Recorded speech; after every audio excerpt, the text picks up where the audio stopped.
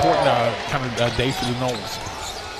Pass stolen away from Malik Osborne. Trent Forrest has made eight threes this year. That was the shot fake, but For the big fellow when he runs, he gets a block on one end, sprints the floor, and you got to get him a touch because he'll keep doing it for you. another block for the Seminoles, and it Karam's out of play. They came out of the break in a 1-2-2, drop back into a 1-2-2 zone. They mix their defense up about 10% of the time. They'll switch and go zones and things like that.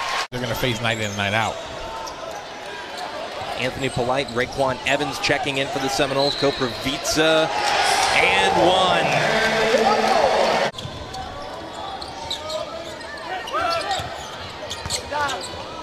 Sell with the feed to Koprivica. Great pass, great finish.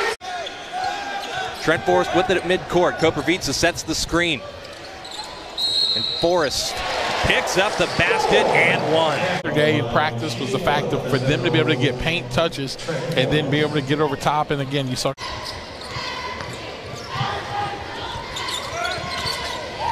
Light on the drive, picks up another couple of points. Back up to 12 for Florida State. Vassell picks the pocket of Youngblood. Forrest back to Vassell. 10 to shoot here for the Seminoles. Osborne working down low, trying to establish that post position and knocks down the jumper. Davison alongside Adrian Crawford, Aria Masudi, the third member of our team, great play. and Vassell throws down another one. Vassell comes crashing in. Brim tries to recover. MJ Walker steals it away. Now here's Malik Osborne, who dunks it for Florida State. He's got 14. That is a new FSU high.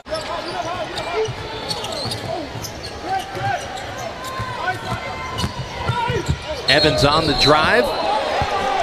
Great job that time by Raquan Evans going through, driving through contact and getting that strong finish. Sent from the floor.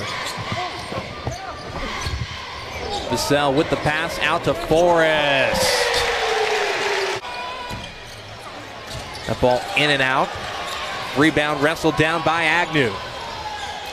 In traffic, Osborne with another block. He's definitely going to need, um, you know, Raquan Evans. I mean, all these guys who are playing right now, he's definitely going to need them as the year goes on. And so Hello.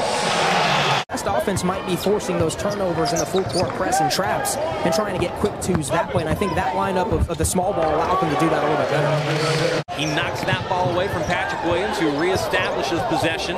Now here's Nate Jack for three from the wing. That was a deep one, and Jack connects.